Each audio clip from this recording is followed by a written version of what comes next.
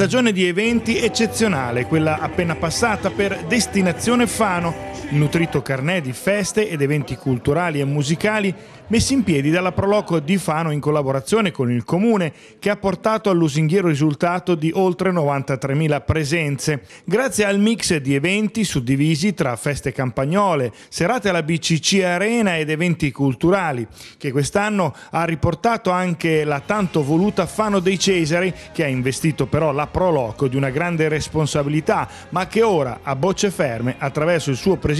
esprime grande soddisfazione. Più che soddisfatto, soddisfattissimo per una stagione che è veramente stata piena, in cui eh, tutte le 40 associazioni che fanno parte di questo gruppo si sono espressi a massimi livelli. Abbiamo voluto chiudere questa stagione estiva con un, uno slogan, quando ne fai parte ci metti il cuore, perché questo è un po' il senso delle nostre associazioni, ovvero fare parte di un progetto e metterci il cuore e far diventare anche le cose più piccole veramente una cosa grandiosa. Quindi io direi un, una massima espressione, eh, un culmine culmine raggiunto quest'anno veramente importante per eh, tutte le associazioni della città. 40 le associazioni coinvolte con oltre mille volontari che danno anima e cuore per organizzare al meglio ogni evento nella città, costituendo un unicum che, anche se pur destando alcune considerazioni fuori dal coro, ha una sola parola vincente, sinergie. Qui abbiamo un popolo, un esercito di gente di buona volontà che sa mettere il cuore oltre l'ostacolo